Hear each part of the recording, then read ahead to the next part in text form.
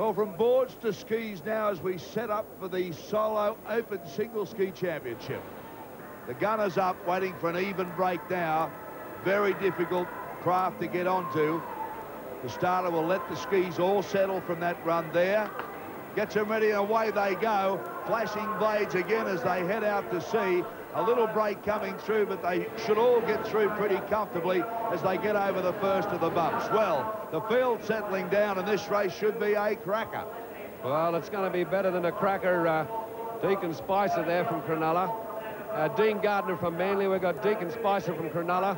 Doug Iredale from Wanda, Shane Dalziel from North Caloundra, Chrissy Bond, the former champion from the entrance, Greg Dorries from North Burleigh, Mark uh, Clint Robinson from Maroochydore, Mark Frost from Tweed Heads and Coolangatta, Tim McDermott from North Narrabeen, Greg Patel from the local club North Wollongong, Reeves, Clark, Wood and Roy complete the field. Big talk amongst the ski paddlers is the young fella Clint Robinson, 17. He's won the senior, he's won the junior board and the junior ski this morning, and he's going for a big one in this one.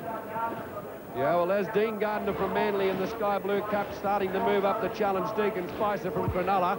Uh, Spicer, formerly a Tasmanian, moved up here to contest the Nutri-Grain Series.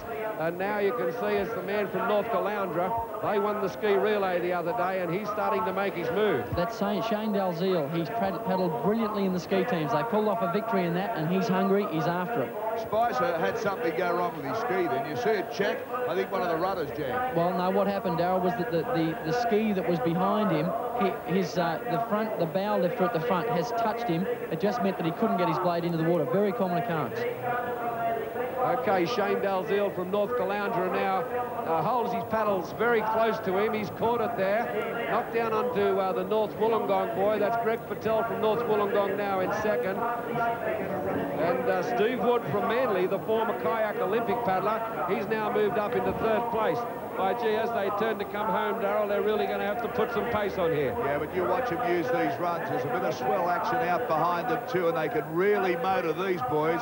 These surf skis will run on just about anything. See the pack coming in behind the leading competitor there. You'll see them just lift up, and they really move down the face of these runs. So it's important you've got to stay in the front one all the time. Shane Dalziel in front and staying there, but coming from behind, Steve Wood, ex-Olympian, and he knows exactly how this feels to, to win these medals. And that two of them are approaching him. Okay, now Peter Clark from Byron Bay also moving up there. There's going to be three in a row, but it's still Shane Dalziel just on the right-hand side of your screen there, going for a little wave. It's hot as they come back towards the beach. Clark straining there closest to you now. Steve Wood from Manly really challenging. They're coming towards the drop zone, heading towards a great finish, Daryl Eastlake. Look at this as Dalziel now really puts in the long ones. He's got over the top of this run, I think. This is Wood. Wood from Manly. Geez, a good competitor, Wood is. He's, he's been a Taplin relay competitor. He's been with the club in just about everything in the water. Dalziel just coming down and, he, oh, look There's at him. He came down the wave and got a look at the look on his face. By golly, what a fantastic finish.